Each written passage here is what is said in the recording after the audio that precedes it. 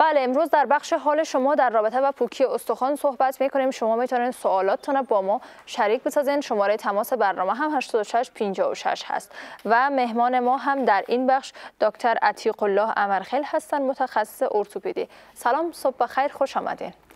مننه کوم له تاسو څخه لومړی تاسو ته د تلو تلویزیون کارکونکو ته او ستاسو درنو لیدونکو ته.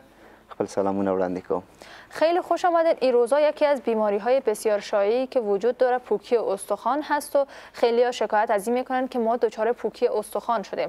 خب می‌خوام اول یک شناخت بدیم بر مخاطبانمان علمی تر که پوکی استخوان چی هست.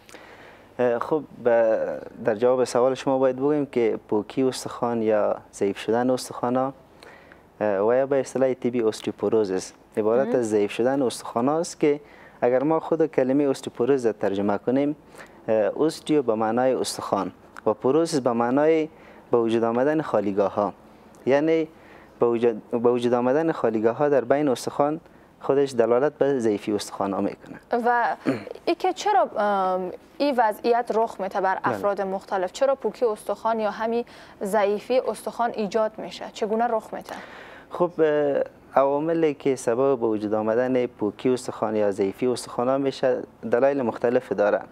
اولی که بدبختانه در کشور ما مردم هیچ ورزش نمی‌کنن. یعنی خود... استخوان ها برای اینکه خوب رشد کنن به ورزش نیاز به ورزش نیاز دارن. البته باید بگیم که ورزش کردن سبب تقویه استخوان ها میشه در طول عمر ما. خود ضعیفی استخوان بعد از سن 40 تا 45 سالگی در نزد خانما و بعد از 50 الی 55 سالگی در نزد مردا به وجود میاد. که البته اگر ما در جریان عمر خود مثلا بعد از 20 سالگی یا مثلا قبل از اون یا قبل از اینکه ما به سن 40 الی 45 سالگی برسیم به شکل دامدار ورزش کنیم سبب از این میشه که استخوانهای ما تقویت شده باشه. و نمیشه که ما مثلا یا سبب از این نمیشه که در 40 یا 45 سالگی استخوانهای ما ضعیف شه. ممکن حتی مثلا در 50 الی 55 سالگی هم استخوانهای ما قوی باشه. و ما بتانیم که مثلا کارهای روزمره خود با قوتش انجام بدیم. بسیار خوب. از ساختمان استخوان ها شما گفتین. استخوان به خاطری که خوب رشد کنه به چه چیزایی نیاز داره؟ خب به خاطر تقویه استخوانا چیزهای بسیار عمده که تمام مردم ما یا تمام اشخاص به او آشنا هستند عبارت از کلسیم و ویتامین دی است. و طریقه های بسیار خاصی وجود داره که ما چطور مثلا بتانیم که کلسیم به صورت موثرش گرفته بتانیم و کلسیم وجود خود در حد حالت نرمال خود نگاه کرده بتانیم. هم به می شکل مثلا چگونه ما می‌تونیم که ویتامین دی خود را به صورت درست به دست بیاریم؟ میگن بیشتر افغان ها کمبود ویتامین دی دارن. البته خب مشکل چی است؟ وقتی که مریضا پیش ما مراجعه می‌کنه ما برشان میگیم که شما به خود افتاو بدین به خاطری که مثلا ویتامین دی وجودتان مکمل باشه. ولی بعد وقتانه اینا مثلا تمام لباس های خود پوشیده میرن در یک جایی که آفتابی باشه میشینن. که به هیچ صورت تنها گرما سبب تولید ویتامین دی نمیشه. ویتامین دی از کلسترول یا از امو چربی که در جلد ما وجود داره زمانی که جلد ما به صورت برهنه با آفتاب مواجه میشه سبب تولید ویتامین دی میشه.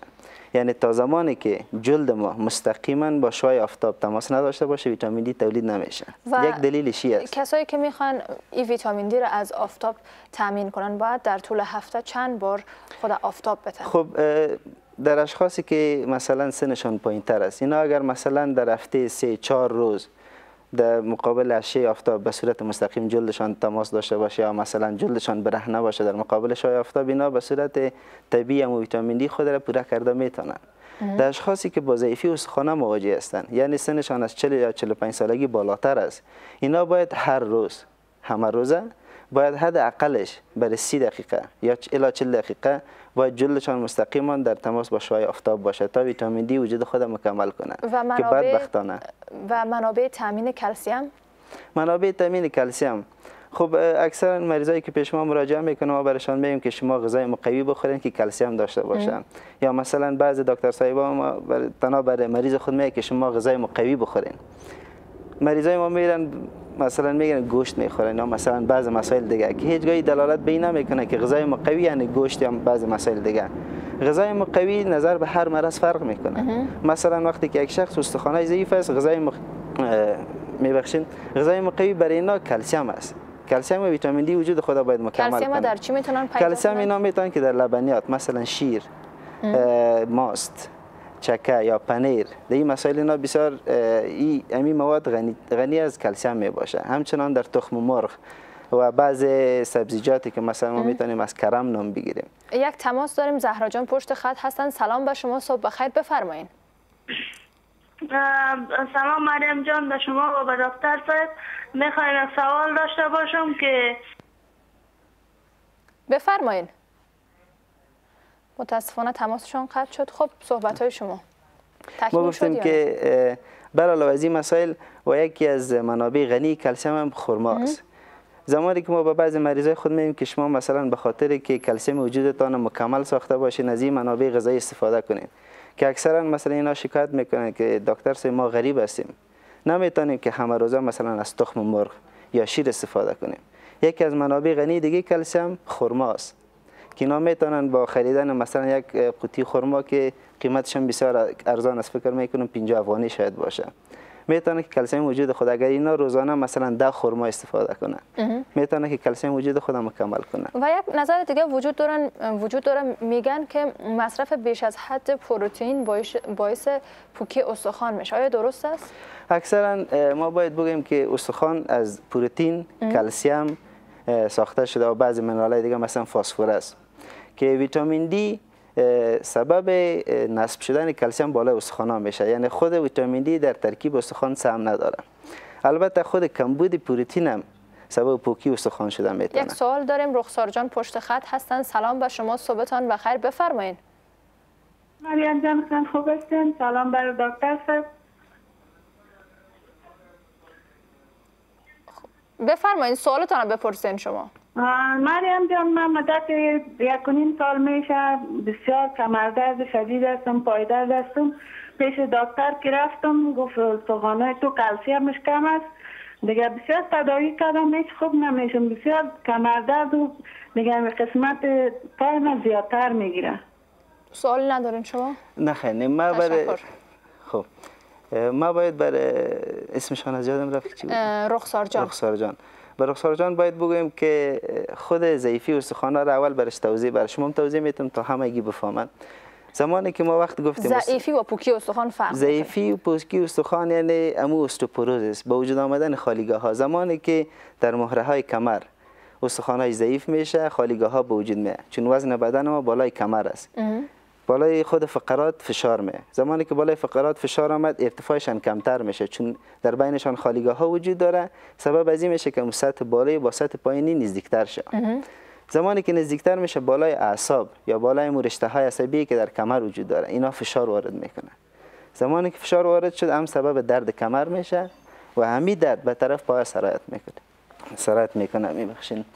زمانی که درد به طرف پایشان سرایت کردن تداوی که به خاطر ضعیفی استخوان ما برای مریضای خود اکثرا توصیه می‌کنیم است که باید همون کلسیم و ویتامین دی خود مکمل کنن. طریقی که ما وقتم گفتم باید اینا وجودشان برهنه با اشعه آفتاب به تماس باشه. ما وقتم گفتم که اکثر ما میگیم شما اشعه آفتاب بگیرین اینا لباس خود پوشیده در معرض آفتاب میشینه در معرض اشعه آفتاب قرار میتن خودم. باید حداقل به خانما مثلا پایشان بالاتر از آنو برهنه باشه. در یک اتاقی که مثلا هیچ کسی نیست می‌تونه که حتی تختی پشت خودم لج کنن.